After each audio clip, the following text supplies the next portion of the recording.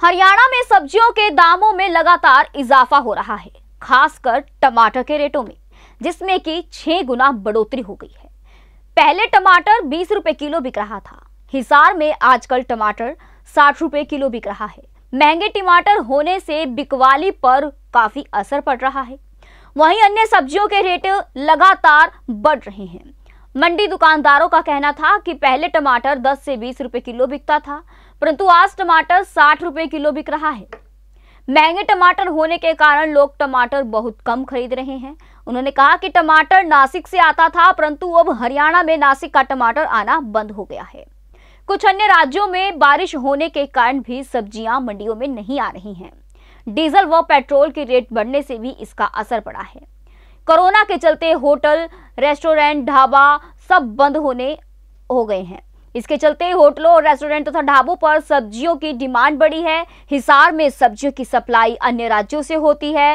हिमाचल गोभी, टमाटर, मिर्च, खीरा, अदरक, नींबू, गाजर, मटर आती हैं। तो वहीं दिल्ली मटर से अरबी कटहल तो राजस्थान से ज़्यादातर प्याज आते हैं। हिसार से लोकल भिंडी फूल गोभी बैंगन, घिया, तोरी, टमाटर, गाजर व मिर्च की सप्लाई होती है। हिसार से समाचार एक्सप्रेस की रिपोर्ट। सब्ज़ी पहले से पहले से कमाने लग गई है जी मार्केट के अंदर। पहले से कमाने लगे, पहले ज़्यादा आती है सब्ज़ी पहले तो बिल्कुल सस्ती थी सब्ज़ी अब महँगी होती जा रही दिन प्रतिदिन इसका कारण है, एक तो गर्मी ज़्यादा हो रही है। गर्मी के कारण फ़सल सारी नष्ट हो गई है। और बाहर से आ रहा माल। बाहर से माल आ रहा है, हिमाचल, टमाटर हिमाचल से आ रहे हैं। तो उसका किराया लग जाता है। किराया लगने से वो रेट बढ़ जाते हैं उसके।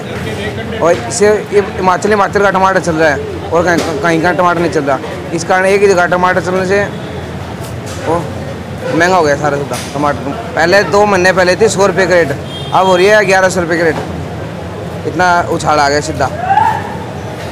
हज़ार हज़ार रुपये क्रेट के अंदर बढ़ गई एक क्रेट के अंदर हज़ार रुपये बढ़ है। इसलिए अब पहले तो दस रुपये किलो, अब पचास साठ रुपये किलो हो रहा है। आगे और भी महँगा हो सकता है। ये हालत रहे तो। उससे ही फ़र्क तो पड़ा ही है तेल का लगता है किराया लगता है बाहर से आता है टमाटर। लोकल से टमाटर यहाँ लोकल था जब तो तेल ताल का इतना चक्कर नहीं था बाहर से आता है तो तेल तेल लग जाता है किराया लग जाता है अगले का इससे रेट बढ़ जाता है। पहले से टमाटर महँगा हो गया। लोग लेता है बाकी बहुत महँगा तो कोई लेता है कोई नहीं लेता है। आज साठ रुपये टमाटर चलो लग रही है हाँ। पहले से तेज हो रहा है। अच्छा। सभी तेज है। गोभी भी तेज है तोरी भी तेज है खीरा भी तेज है टिंडा भी तेज है। घिया थोड़े बारह तेरह रुपये किलो घिया बिकता है। तेज हो गया आज ये सब्ज़ी कम हो गया। खेती में सब्ज़ी कम हो गया। अब वो धूप हो गया से सब्ज़ी खत्म हो गया। इससे तेज हो गया। सब्जियों के रेट अब दिन प्रतिदिन बढ़ते जा रहे हैं, पहले की अपेक्षा। सबसे ज़्यादा टमाटर का रेट बढ़ रहा है पहले तो। पहले दस पंद्रह रुपये किलो थे, दस दिन पहले। अब वो पचास साठ रुपये किलो हो रहे हैं। और आलू भी बीस से पच्चीस रुपये किलो पहुँच चुके हैं। और सब्ज़ी गर्मी की जैसे बहुत कम आ रही है अब। और बाहर के राज्यों में बारिश भी बहुत ज़्यादा हो रही है अब। उसकी वजह से बहुत कम आवक हो रही है अब तो। और ज़्यादातर टमाटर आज वो नासिक से आता था, और वहाँ से बंद हुआ सप्लाई अब। अब ये हिमाचल से आ रहे हैं, वहाँ से किराया बढ़ोतरी हो चुकी है, पेट्रोल बहुत महँगा हो चुका है अब। लॉकडाउन की वजह से, उसकी वजह से सब्ज़ियाँ बहुत महँगी हो चुकी है अब। हर चीज़ की रेट बढ़ा हुआ है सब्ज़ी में। पहले भिंडी बीस रुपये किलो थी, वो अब चालीस रुपये किलो हो चुकी है। यह दस रुपये किलो से लेकर बीस रुपये किलो तक बढ़ चुकी है।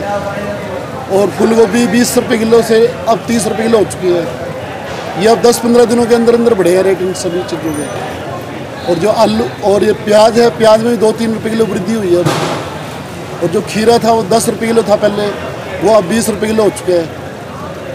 और जो शिमला मिर्च है, ये भी बीस रुपये किलो से सीधी पचास साठ रुपये किलो पहुँच चुकी है। ये दूर से, दूसरे राज्यों से आ रही हैं। यहाँ पर तो बहुत कम सब्ज़ी आ रही है यहाँ लोकल सब्ज़ियाँ तो। तो ये बारिश वगैरह आती रही तो सब्जियों का रेट तो बढ़ेंगे अब। कम तो होने चांस नहीं होगी टमाटर की डिमांड ज़्यादा हो रही है शिमला की डिमांड ज़्यादा हो रही है वैसे। और ये आलू की तो डिमांड रहती है हमेशा ही।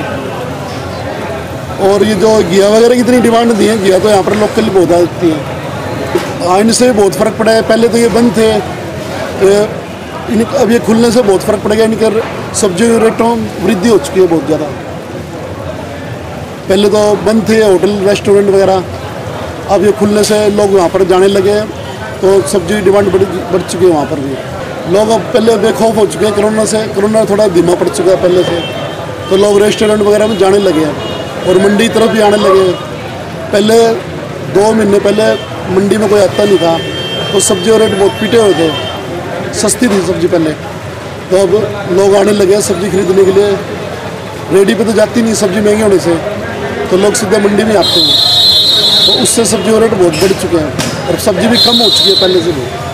टमाटर तो वैसे हर किसी को चाहिए होते घर में, पर अब लोग जिसको दो किलो लेते थे वो आधा किलो पे आ चुके हैं, रेट महँगे होने से।